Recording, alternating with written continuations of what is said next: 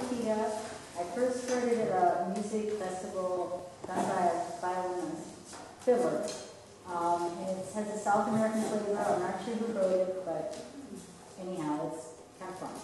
Okay, you a shot.